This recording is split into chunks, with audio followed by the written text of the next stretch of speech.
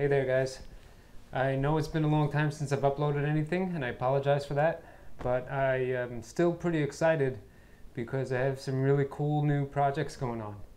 Intentionally left the background a little blurry on this one because I don't want to give away anything just yet about these new projects, but I assure you I'm pretty excited about it.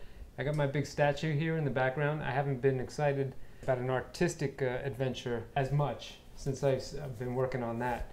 Or maybe the uh, poor man's fishing kayak, you know, it's like on that level, I, I think. You guys might see it and be like, meh, but uh, you're gonna have to wait for a few weeks, um, maybe sometime into uh, November before it comes out.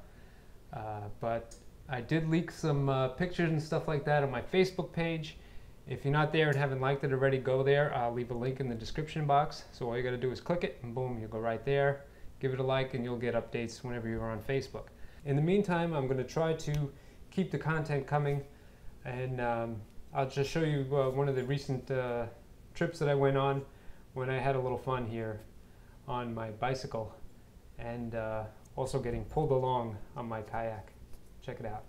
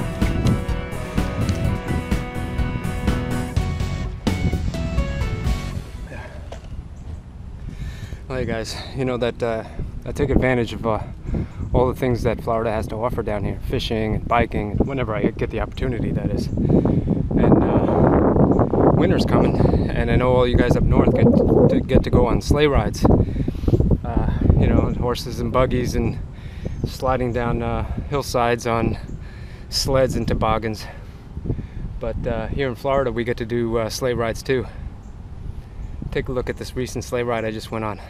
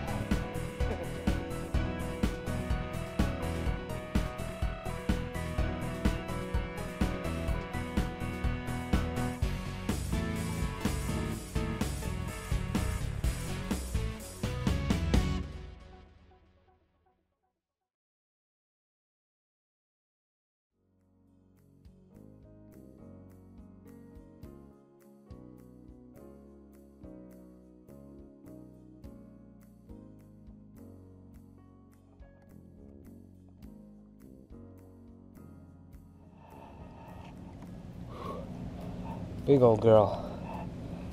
Got a couple scars on her. But very beautiful. Get that acid out of.